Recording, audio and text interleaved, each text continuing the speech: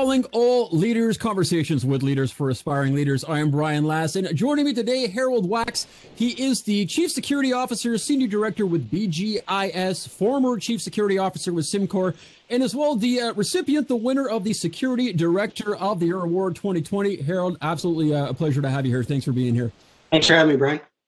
Perfect. So, you know, certainly, albeit that sort of high level overview, uh, obviously not to preclude a very long standing, admirable career, uh, you know, certainly leading to where you are at present date. So, correct me if I'm wrong. I, am guessing uh, it's about 22 years of international experience in your realm of corporate security, as well as uh, 24 years in the realm of some very prominent, uh, impressive volunteer law enforcement roles. Tell us a little bit about that. Yeah, for sure. So, uh, on the on the professional career side, yeah, just somewhere over 22 years in, in corporate security. Um, you know, I'm one of those stories that that, that truly started at the entry level um, in, in a really odd way. So I was actually working as a part-time paramedic um, wow, in the Toronto area, and uh, you know, living uh, date me, but I was living off the pager, and uh, I needed some extra extra work. I needed to fill in some of the gaps, and um, you know, they, they say curiosity killed the cat, but in the security industry, it doesn't. It actually helps you get further. I'm a curious soul. So I happened to see uh, two armed guards at, uh, at, you know, with an unmarked vehicle at uh, fireworks festival down on Lakeshore.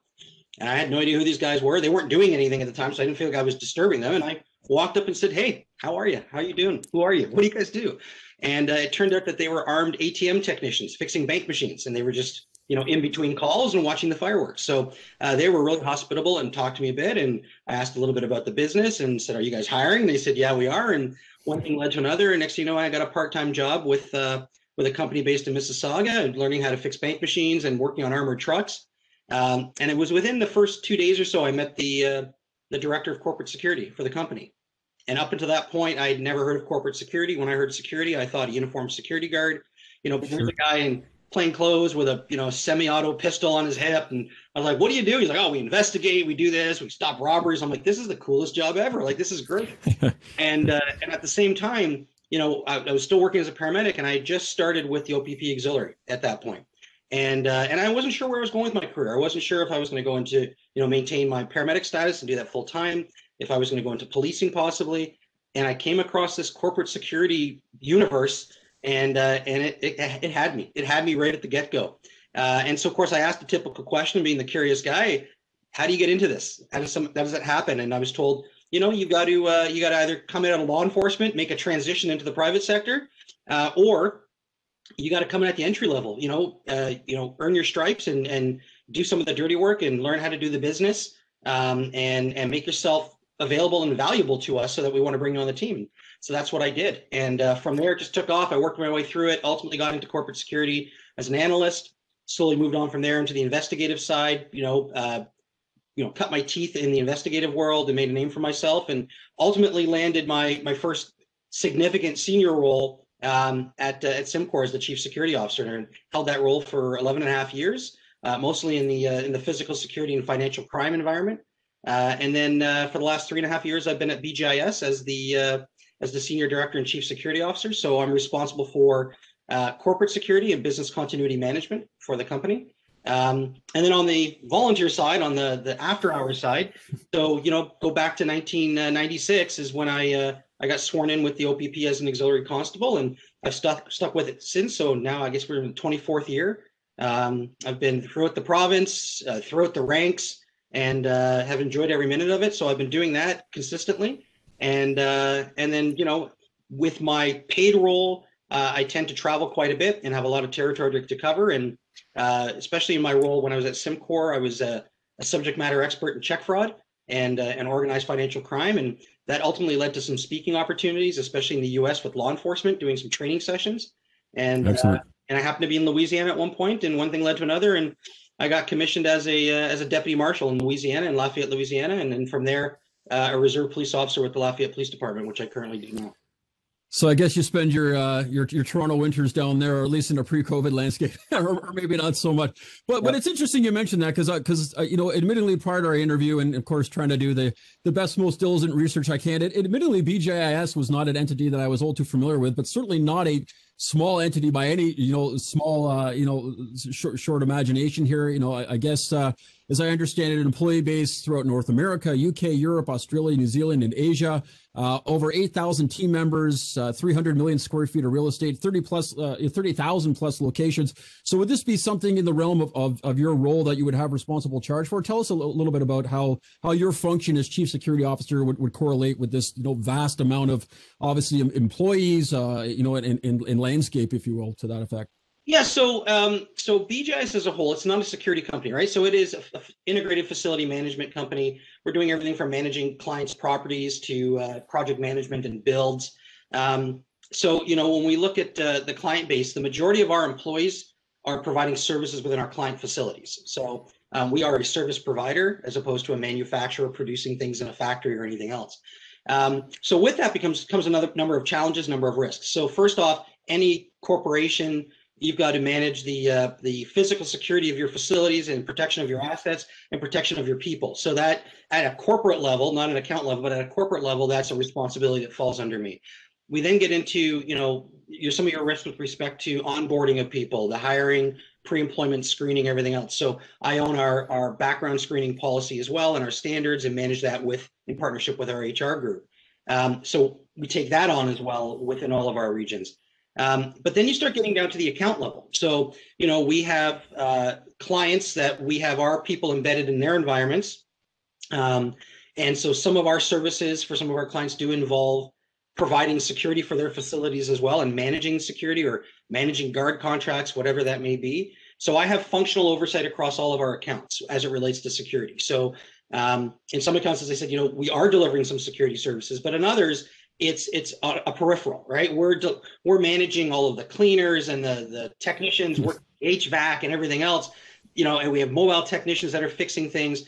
But my responsibility is to interact or liaise with with those clients, uh, and our client base is is pretty much critical infrastructure. Um, a lot of critical environments, blue chip companies, and governments. Uh, you know, military, government, offices, that type of thing. So there's a lot of security and intelligence that's shared amongst that. So um, so my team and, and my role specifically, we have that responsibility both on the corporate side and working with our clients on the client side. Um, and then of course liaising with law enforcement and, and the intelligence agencies to keep everybody safe and ultimately keep the business moving. Absolutely fantastic. So it sounds like you have a lot on your plate there. But but I tell you what, I mean, you know, certainly, and again, speaking that the present landscape, obviously indicative of your of your current you know, title or role. You know, you have the word chief in front of your title, you have senior director in front of your title. So, you know, certainly this is a, uh, you know, for argument's sake, a perceivable leadership type role. And, you know, certainly at, at that, uh, as I use sort of the analogy, we talk about climbing rungs in a ladder. Certainly, this this being perceivably the top rung, but obviously all the way down.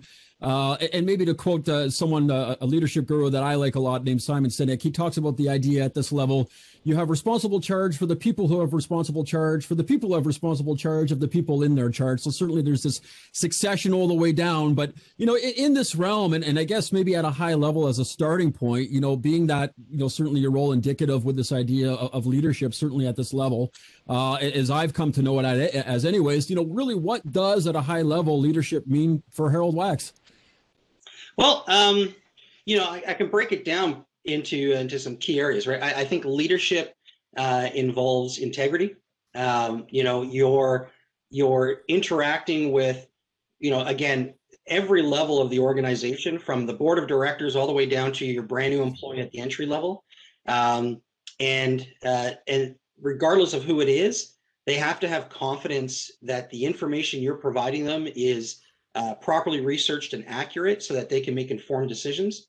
Um, and and again you can't play games right? So so integrity is first and foremost as foremost. As a leader you know when you're conveying new standards new policies or we've got to unfortunately say no to something um, you know they've got to trust that there's no ulterior motives in that you know that that we're being honest with them when we're telling them exactly what what is going on and why.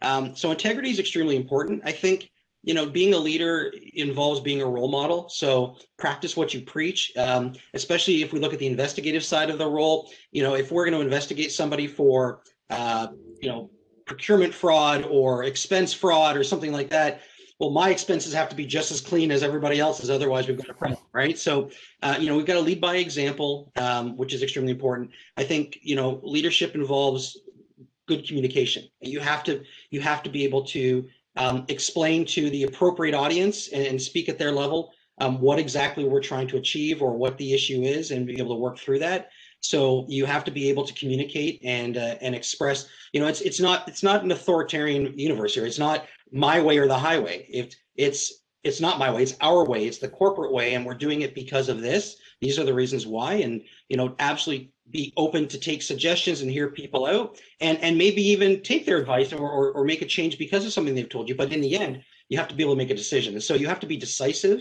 Um, but you have to be cognizant that everybody has opinions um, and you know you may have to hear them out but ultimately you have to make the right decision for the organization so it's about taking ownership taking ownership of of what we're doing why we're doing it and uh, and sometimes providing uncomfortable information sometimes you know you try not to be the uh, the disabler in the in the organization but sometimes you have to give the bad news. Um, and and you know so what i try and do as a leader as opposed to saying no or as opposed to saying here's the bad news it's it's no however here's some options to achieve what you're trying to achieve right? So identify some compensating controls and bring that forward to help them get to where they need to be. So you know you have to be a facilitator. You have to be able you have to be a little bit of a salesman you know to be a leader as well right you, you have to be able to convince people this is the right thing to do and why uh, as opposed to getting into you know arguments or confrontations with folks so uh, and then last and i think most importantly brian is you know if you're managing teams as a leader um, you need to be a, a, mentor to those teams. You need to take care of them.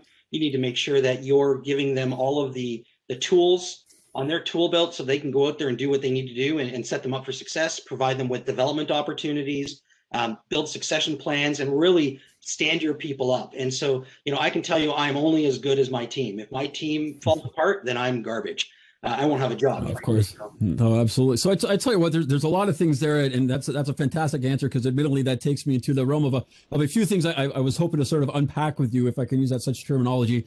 So certainly, maybe the last point in, in working working our way backwards, you talk about the idea of, of certainly mentorship and building people up. So you know, I, I am of the belief, and certainly there is a sentiment that uh, a couple sentiments, anyways. You know, certainly that leadership not about being the best, about making other people better, and, and leaders perhaps inherently, uh, you know, there to create other leaders.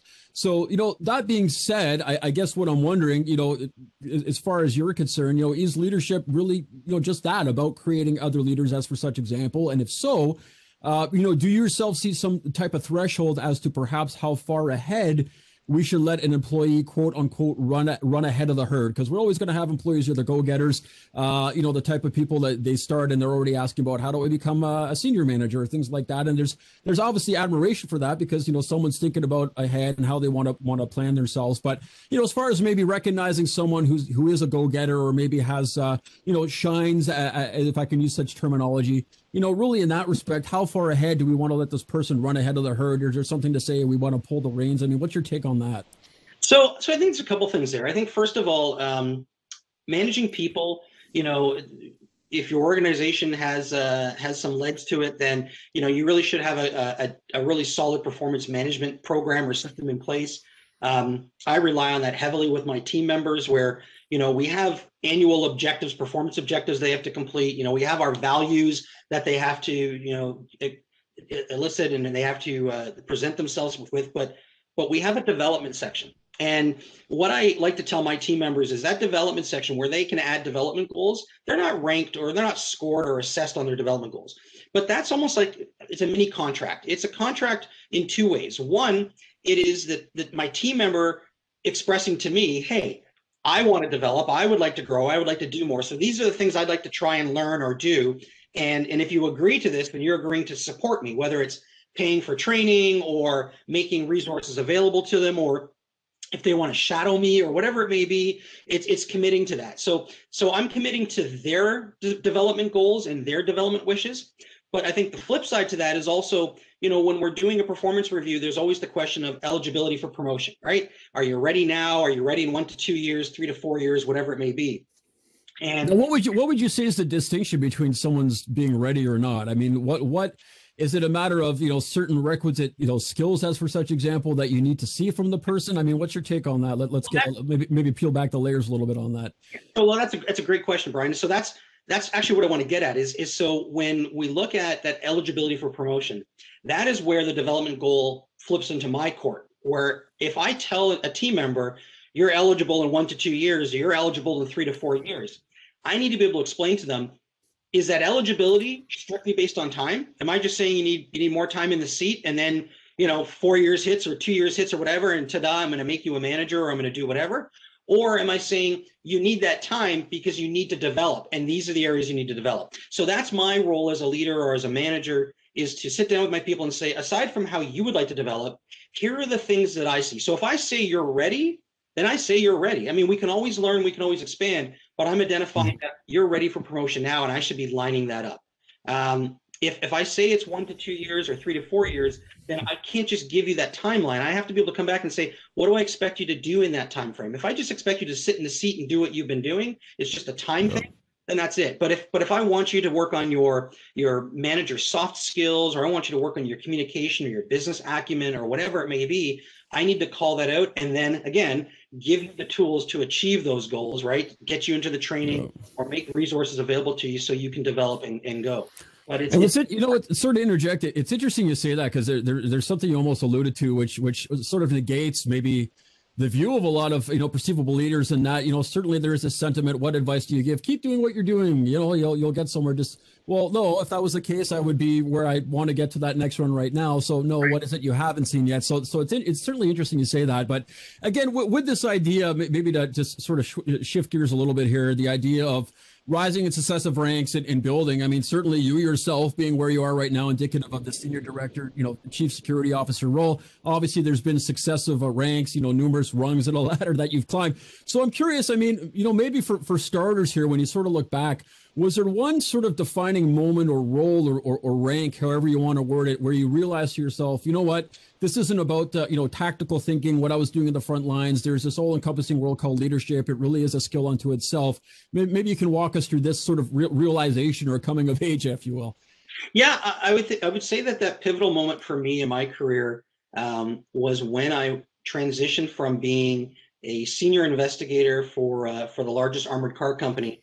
Um, to a regional security manager and and i thought in my head, I'm like, okay, it's a pay raise, and yeah, there'll be a little bit more responsibility or whatever, but but um, but that's it. And and I learned very quickly that that's not the case. When you when you get into this management role, and now you're managing people, but you're also managing the the delivery of the services. It's not just completing a successful investigation. It's not just wrapping that up in a bow. It's about the ongoing management of your area of responsibility. It's about knowing your area of responsibility and being prepared in case something goes wrong. Um, so that was an eye opener. But I'll tell you, one of the other opportunities I had when I moved into that manager role was uh, having a discussion with with my manager, who was a vice president, and uh, and he outlined uh, some some areas where I needed to develop. And and again, the conversations I had with my people now, he kind of did the same thing, and he said, you know, you're a great investigator. You understand the, the, the security environment. I've got no issues with that. Keep doing what you're doing. Keep growing. Keep learning. You're going to continue to get better and better and better. But he said, you're not out there in the industry. You know, you haven't um, you haven't obtained any any designations, professional designations to show your continuing education uh, and to show that you're growing. You you're not speaking uh, at any events, professional events, or anything else. You need to get public. You need to be out there. And Absolutely. I was like, and I was like, I, that's not me. I don't want to be on the stage. And he said, and he said, look, he goes, I'll, I'll tell you right off the bat. If you want to sit in the big chair, if you ever envision yourself being in a in a senior leadership position you need to get out there you need to join these associations you need to volunteer and uh, you know i was it was probably a month after that i joined my first professional association and started participating at that level and i and i thought i wasn't sure if this was the right way and if this guy was crazy he was 100% on the money i that's where i began to like network. I began to meet people. I began to understand what the rest of the professional environment was like. And I was able to develop, you know, great colleagues and contacts as well as some mentors to help me along in my career path. But, you know, I think that was a pivotal moment when I went from being, I'll call it a doer to a leader was really that change moving into management. So would it be fair to say that this sort of world you were just talking about, would it be fair to say that this was sort of the middle middle management level, like you're entering the realm of supervisory man? Now, to you, would you would you say arguably, or maybe not even arguably, that that potentially is is the hardest landscape to navigate? I mean, would, would you say that? And, and what are, what are your what are your views on that? so, so yeah, so it's it's an extremely hard spot. I mean, if if you if you think about it, you know, in a policing environment as an example, that's when you start getting into the NCO, right? You're a sergeant, maybe you're a staff sergeant you're a manager or you're a supervisor and you have some power, you have some authority, but in the end you're you're not the ultimate decision maker. So you know you're kind of sandwiched in between. You've got to toe the party line from from higher management but yet you know you've got to watch out for your people. You've got to keep them in line but again you want to support them and help them grow and you're still pretty close to the tactical level versus the strategic level. So you know it's it's a it's a hard space to be in because you're literally i think you're changing your hats you know every every moment one one second you're wearing your supervisor hat then you're wearing your i'm a boot on the ground hat um, and then, you know, other times where you're maybe filling in for your manager, your one-up manager. Next thing you know, you know, you're acting, you know, regional manager, or you're acting VP or whatever it may be. And uh, and it can be quite interesting, quite difficult because when that acting session is over, you typically go back to where you were and you've got to think about your actions and how you treated people and how you interacted with people um, and uh, and and take responsibility for the decisions that you made so definitely that middle management position or that space is uh, is a difficult space to navigate and with that said there aren't as many uh, senior leadership roles out there, right? There's a lot of middle management, there's a lot of on the ground, but there aren't a lot of the senior roles. So that's where you start to kind of weigh people out, and, and you can definitely see the people that um, can manage versus the people that can lead. And you can start to separate the two. And and frankly and this isn't to toot my own horn it's just the people that that end up being able to lead and and you know empower their their teams to to do what needs to be done those are the ones that start to to move up to the surface and ultimately start to grow. And the rest have great careers but they typically stay stagnant in that middle management level because they're managers as opposed to leaders I got you. And, and that's an interesting point. So, you know, certainly if someone's, uh, you know, I'll use the terminology loosely, front lines, you know, entry level, uh, you know, this tactical thinking, you know, arguably, and I, I think the broad general landscape in any, any industry, really, there's a, a, great job being done of equipping this person. I mean, really at that at level, your job is to do a good job. I mean, certainly in the corporate security world, maybe it's a matter of, hey, I'll sponsor you to go get the ASIS CPP and PSP and, you know, very large designations, things of this nature. But certainly, you know, when you take the next rung up, now you're basically, uh, you know, have responsible charge for the people in your charge, the people who used to do your job, and that can obviously lead to micromanagement because you're you obviously got that job because you were good, good at the front line. So overall, I mean, you know, current landscape just in general, not even tied necessarily to one industry. Do you think we we as you know whoever we want to allude that to do a good job of prepping our leaders to enter the realm of leadership and are really reinforcing this idea of you know leadership versus this autocratic micromanaging my way or the highway sort of style? I, I think overall we're getting better, um, but I unfortunately I think, excuse me, I think there's still um, uh, pockets that uh, are still in a you know that autocratic environment. Um, excuse me again. Uh, I, I, think as well um, we still have individuals that uh, get into these these management roles and and then start moving a bit into the leadership roles, but as you mentioned, unfortunately can't release what it is that they used to do um, and hold on to it and ultimately end up micromanaging. Um, but I think there's a good portion of, of you know our professional society now that has uh, that has moved up through the organizations and through the ranks, seeing what can be and what should be. Uh, I think our HR teams are doing really good jobs now at uh, trying to, to educate some of the uh, some of the, the leadership teams on on how to better manage our people. Uh, obviously, you know, the pandemic has really changed the environment and, you know, mental wellness and, and health is really big right now. And for, absolutely foremost with all of us, but um, I think, you know, there's still a tendency for, for senior individuals to, to attempt to you know, go back and say, well, I used to do it this way. Uh, and that's the right way to do it. Uh, you have to be open to hearing your people out, understand why it is they want to do it differently, and sit down and assess it. Take the time with them and say, hey, you know what? Maybe that was the right way to do it three years ago or four years ago when I used to do it. Hmm. but things have changed. Technology has changed, processes changed, people and their attitudes and their tolerance have changed. Risk appetite has changed. Maybe we need to look at it differently. So, you know, I, I personally believe it's important that to give my teams the opportunity to express this is what we would like to do. This is what, how we know it needs to be done, but this is what we'd like to do and why. And we think it could create efficiency, you know, greater effectiveness or greater compliance or whatever it may be. And I want to hear them out. And and if I don't agree with them, then as a leader, it's my job not just say, yeah, that's great, but no. It's my job to say, okay, I really appreciate what you brought to the table. But this is why we can't do it. And I have to be able to explain to them so they understand maybe there's a contractual obligation that we're stuck to and we, we can't move. And so we have to keep doing it that way, even though it's on paper instead of electronic. We still have to do it because that's what the contract says we have to do. And I and I walk them through that so they understand. I don't believe in just saying no and walking away because it's you know I'm the boss and it's my way or the highway. I, want to, I want them to own it as well. Uh, I heard a great term the other day from another organization, which was be an owner. And and I, I really think that's important. Mm-hmm. That regardless of your title or your role, pretend it's your company, pretend it's your organization. What to do and why? Be an owner when you make that decision. Uh, and if you're bringing something to the table, be an owner when you bring it to the table and say, "This is what I think we should do and why," um, and and stand behind it. I think passion in this business is very important. And I can tell you, when one of my team come to me with something that they believe in and they're passionate about, they are going to get every minute of my time to hear them out. I want to hear them out, and and if it's something we can do, I'm going to support them on it. And if it's not, I'm going to make sure they completely understand why we can't do it, so that they at least feel good about what they brought to the table and why. No, absolutely, and, and to one of your points there, like certainly, certainly there's the uh, the notion of uh, leading from the front. I believe is a terminology. So certainly, even though we're talking about successive ranks and this, that, and the other, I mean, obviously that's not to preclude by, by any stretch of the imagination that that sentiment as well. So I do want to uh, maybe you know I would be somewhat hard pressed, I suppose, to not uh, sort of speak, albeit briefly, on the pandemic. I know you, of course, briefly mentioned that. So you know maybe in, in this regard, you know there is a sentiment, certainly the the sign of a of a true leader, perhaps, if I can use that such terminology uh, it's how they na- navigate or, or sort of, I, I, suppose, act in the landscape of a crisis. So, you know, obviously, current pandemic obviously can be uh, constituted as a crisis. Certainly, one I've never seen in my in my such uh, such uh, time. So, I guess you know what lessons, really, if any, ha- have you personally learned? You know, maybe from the leadership standpoint, uh, you know, amidst your role in, in sort of navigating this landscape with the with the coronavirus pandemic.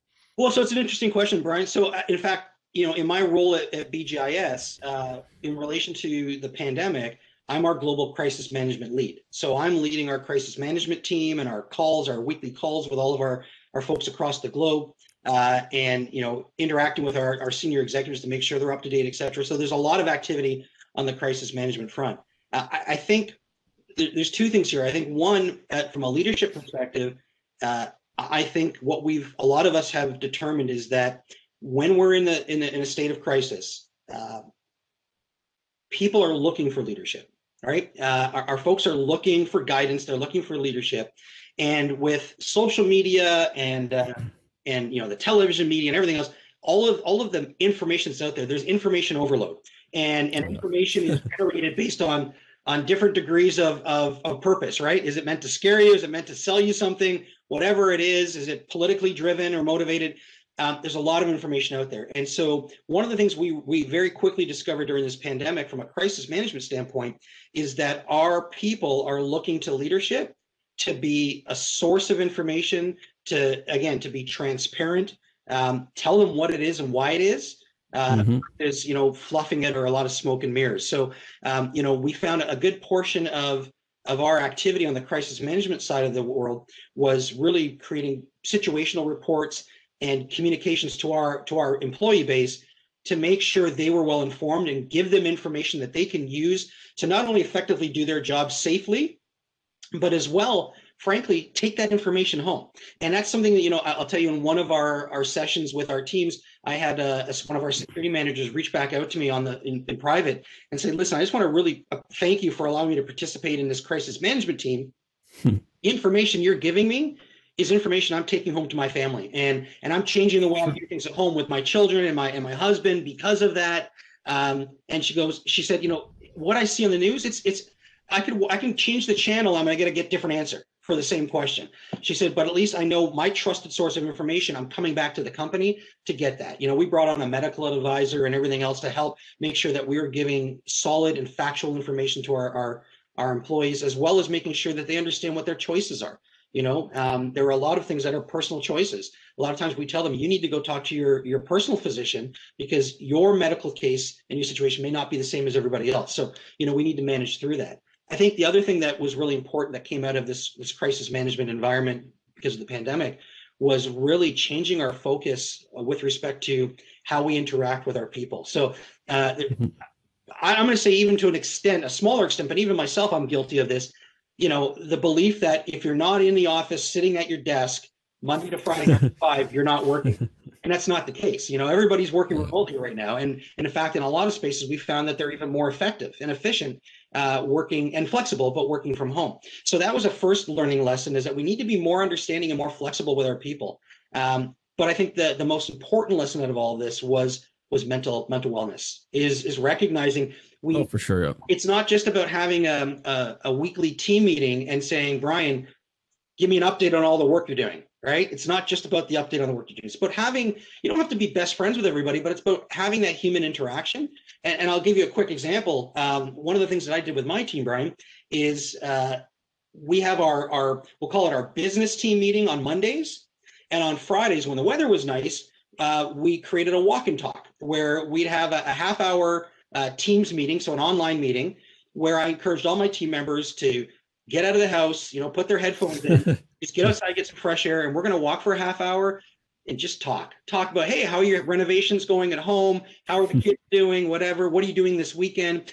But nothing about work. Let's just interact on a on a human level. And then, of course, when the weather started getting bad, you know, I started to notice my team members more and more were staying inside for the walk and talk. And so I said, all right, let's keep that up. So we changed it to story time with Harold. And every Friday we have story time with Harold, where you know everybody comes to the table with uh, with uh, two two truths and a lie, and uh, figure out which one's the lie, and then and then we tell the stories behind the truth. So we learn a little bit more about each other, and and it really brings us together. The morale is actually improved because of that. And I think you know as leaders we're responsible for that morale. Um, we need to make sure that our people are are engaged, that they're that they're happy, um, that they uh, you know that they're not overtasked or task saturated. Um, you know we have that responsibility, and frankly, sometimes the only way you're going to know that is by having that interaction with them and being able to start seeing some of the signs and cues. And you're not acting the way you normally act. Is everything okay? Um, because otherwise, you don't have a clue. We have people out there that are sponges, right? They will soak up and soak up everything you throw at them until they reach the point where they're saturated, and then they just overflow, and it's too late.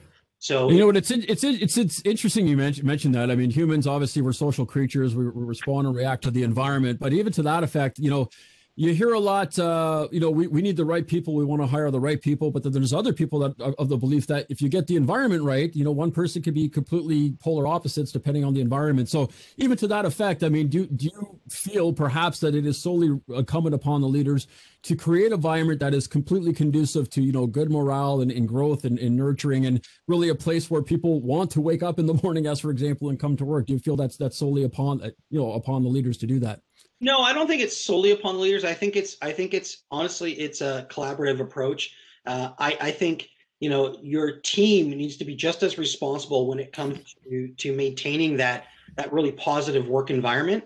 Um, I think it's the leader's responsibility to monitor it and identify issues early on if possible and and intervene. Um, you know, try and manage it before it becomes an actual problem. Uh, identify those early signs and, and get in front of it. Uh, I, think that's extremely important, but but I think the ownership is amongst all of them. Uh, you, if you you can't stand in front of everybody and say be happy, right? Be happy, be you know work well, and that you're getting back into uh, into the you know the, the the authoritative manner versus being more of a mm-hmm. collaborative approach. So you know I think I think the leader is just that. They need to lead, so they need to lead by example. So, um, you know, again, you need to act appropriately within the work environment, and you know, express the values of your organization and and the values and ethics that you believe everybody should in, in your team should be uh, displaying or expressing. You need to lead by example and, and do that first. You know, you you can't you can't stand in front of people and talk to them about using appropriate language in the workplace if you're in the workplace dropping f bombs left, right, and center, right? So, oh no, no, of course. but I think, but I think we're all jointly responsible, and I think you know it's also important at, at the at the leadership level to be able to communicate with other leaders within the organization because they see other things.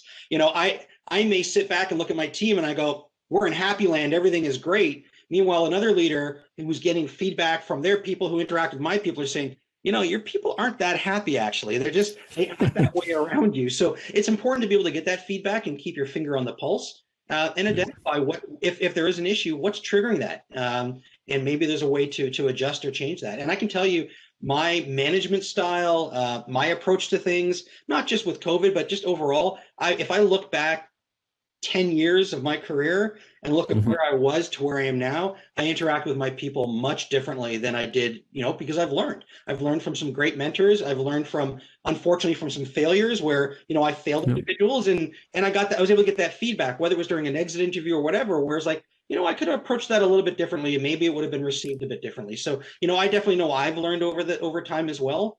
And uh, and I think, you know, when I have discussions with some of my up and coming leaders in my team, I have those same discussions with them. It's it's not about my way or the highway. It's about listening, talking, understanding, and and conversing with your people. You don't have to be best friends, but you don't also don't have be enemies, right? So you can make it work. No. But uh, I think we all own have joint ownership of it. Absolutely interesting. So I, I, tell you what, Harold, you know you've been absolutely so overtly generous with your time, and I'm so thankful to have have the chance to uh, garner your insights. Certainly beneficial for me, and I don't want to seem uh, like my channel self-serving, but absolutely, I've I've enjoyed our time here together for sure, and I'm certain anyone anyone watching this will, will take a lot away. So maybe as as some parting words, if you will, and and I'll tell you, you know, for myself, and you know, as soon as I put three chevrons on my shoulders you know, I, I, started to get a lot of the questions that I would always pose, such as, you know, what what certificates and courses, and you know, always looking for the magic pill as, as far as wanting to endeavor to that next next role. And if only it was that easy, I suppose. But you know, so, somewhat to that sentiment, I mean, you know, perhaps in, you know, having some parting words here, do you perhaps have any all-encompassing insight or advice for those who are striving to realize these leadership roles, climb the next rung in the ladder, or even just perhaps navigate the, the, the realm that they've just entered into? Yeah, I mean, I don't have any specific courses offhand, but I can tell you that um, I, I, truly believe, and I, and I practice this with, with, my team members as well, and some of my managers that are moving along in the organization.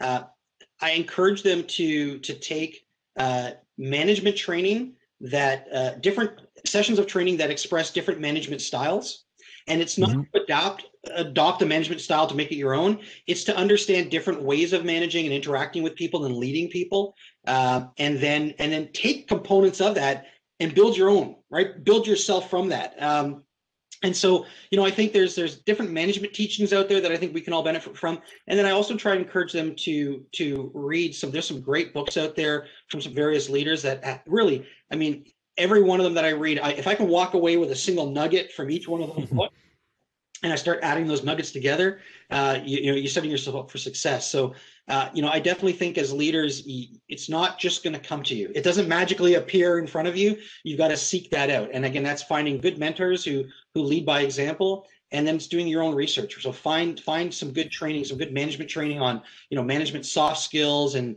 uh, how to interact with your people, how to have difficult conversations, you know, who stole my cheese. There's a whole bunch of them out there that you can read and, and monitor. But and then there's some great leadership books out there as well. Uh, and uh, some of them are some somewhat, somewhat humorous. Some of them talk about um, some very difficult events and how leaders managed through it and dealt through it, and and even reflecting on some of their errors or mistakes of their you know that they made during that event. I think those are those are how we're going to succeed. You're, you're going to actually learn from somebody else's mistake uh, or somebody else's success instead of you know doing it yourself and and repeating you know repeating history. So uh, that would be my advice is just get out there and research um, interact with others and uh, and you know find find what makes sense for you and for your your environment and your organization and and make it your own Excellent. Well, certainly uh, some excellent parting words. And Harold, again, I thank you so very kindly for your time here. And for all of you out there who are watching, uh, this is Calling All Leaders, Conversations with Leaders for Aspiring A Leaders. And certainly we had a, uh, a very inspiring leader with us here today, Harold Wax. Again, thank you so very kindly for your time. Thanks, Brian. Appreciate it.